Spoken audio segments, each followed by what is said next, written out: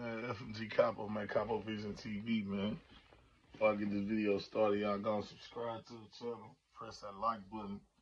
Comment on what's going on, man. Topic, man. Li Rye, man. 1017, Mobile, Alabama. Young Alabama boy. You know that boy was dissing NBA. I don't even know why he was dissing NBA, just to be honest with you. Uh, to be totally honest with you, I don't know if it's because he cool with no cap. I don't know if it's because, you know, NBA young boy dissed Gucci Mane, but he was, you know, he was dissing NBA young boy. Um, then uh, NBA young boy dissed him back on the song, called him a rookie, like you're a little one. And, uh, you know, it's kind of been going back and forth since then. I don't know what the beef about, for real, for real. Um, the NBA YoungBoy told him he was a rookie. Then today, guess what Li Rye do? Li Rye pull a rookie move. He loafing at the mall. It's him and his homeboy. He ain't even got no foul He couldn't have had no foul I think he was in Atlanta, if I'm not mistaken. Um, I think he was in Atlanta at the mall loafing. And them NBA boys caught him, the goons, they caught him. So they they jumping on him a little bit. But really, to tell you the truth, they really trying to get that 1017 chain. They trying to, you keep on hearing them in the background. Get the chain, get the chain, get the chain, get the chain. I ain't gonna lie, Li Rye holding on for that chain with his life. As he should, though. I ain't gonna cap, though.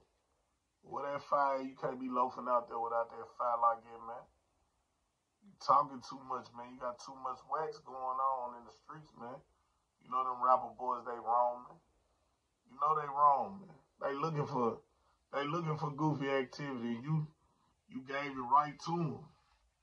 So you know it was probably about four, five dudes. They all on them in the mall.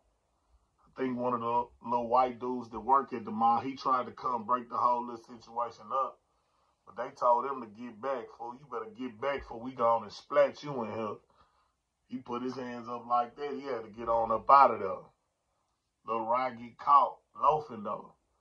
NBA young boy just said you was a rookie. You out here pulling rookie moves. You too deep. You always dissing. You ain't numbered 144 pounds. I ain't gonna lie, I rock with your music though. Little dude hard. You feel me? But they was trying to get that chain, but luckily they didn't get that chain, man. Cause it'd have been a whole lot of more stuff that came with that. Even though you just putting your hands on another man, there's gonna be some stuff to come with that. You see what I'm saying? But uh he got caught loafing at the mall. They jumped on him a little bit, trying to get his chain. You know, little Rod popped back up on the internet with his chain on, talking about y'all ain't getting nothing. It's about four, five of y'all ain't a mark on me. I ain't gonna lie. Wasn't no mark on him. He ain't had too much of nothing on his face or nothing. But you know, that was a you feel me? That right there, that's a for little rap, bro. That's that need to be an eye opener for you, bro. You can't be out there loafing like that, man. Just because you ain't in your city, walking around without that fat.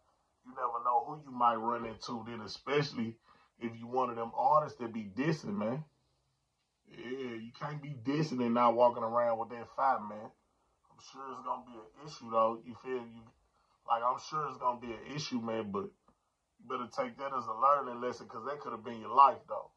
So a lot of dudes don't even play like that. They was really sparing you.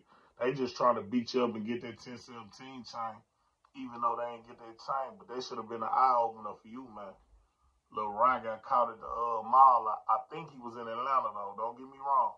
Pretty sure he was in Atlanta because if he was in his city, he probably would have had more people with him.